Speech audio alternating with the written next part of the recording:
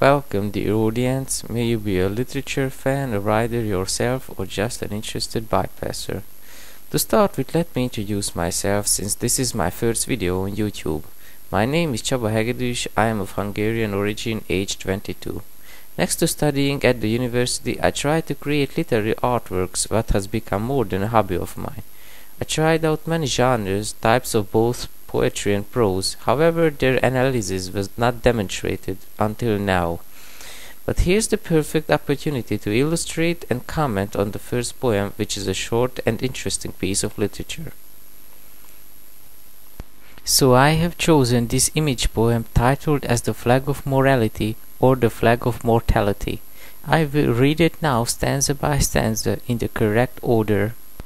All seven days stood we, few amongst the vile, guarding our precious flag you gave us the sire.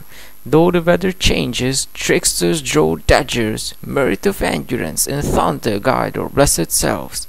Though it's common to sin, we'd rather die with shame than to set free common, daring to promote bane. When disorder rises, dukes and nobles uncontrolled, steps in with full power, limitless moral.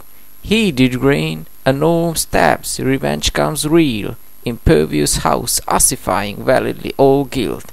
Its candle rod burns bright like a light tower, ignites the ignoble till fueled is its power.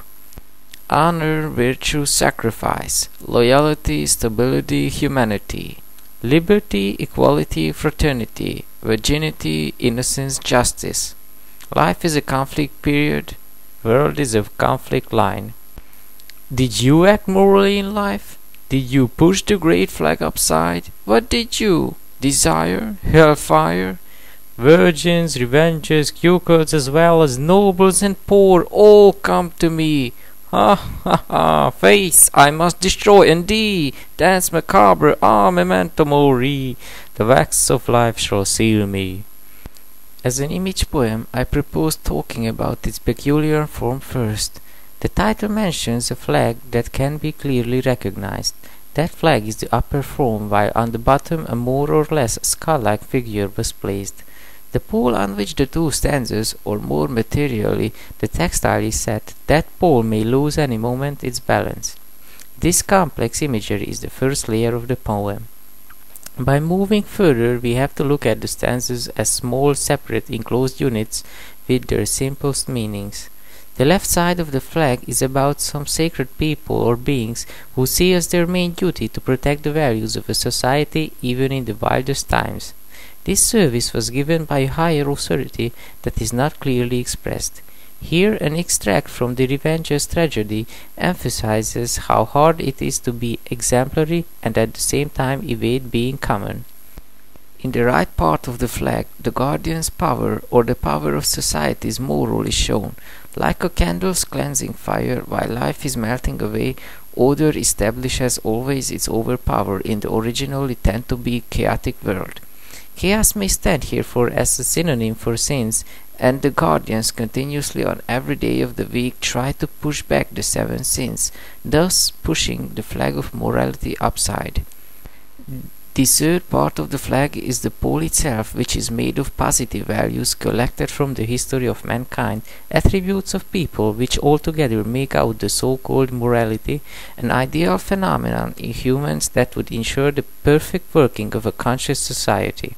Still, at the bottom lies the very last stanza, a skull which swallows every existence without caring about the earthly attributes of a man. It is in contrast with the unimportant great struggle of the living. Death is moreover a mystery, a grotesque apparition that laughs on the typical panicking emotions of overly self-reflexive human beings. In a way of traditional theatrical representation, the underworld lies under the stage's trapdoor, but here hell-like circumstances, struggle of good and evil, can be found upside as the counterpart of morality, while unknown death is the only one down. By mentioning hell, which is related to religious beliefs, demons are among the guardians in the poem's third layer. The guardians keep them shackled, and from another perspective, some writers do the same by engaging them into text or literature, I dare say into high culture. The second stanza hides a sword, an emblem of justice, which helps and represents the guardians as well. The devil word's pentagram and the sword's high moral core are again a contrast.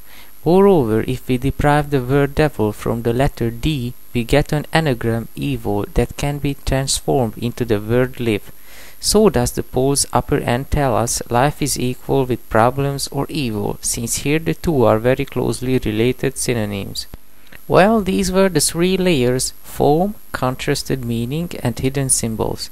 I don't want to go into rhetoric figures and other allusions, but feel free to ask about them if you're interested. You can find the whole poem and the text of this video on my homepage. See you next time and thank you for watching.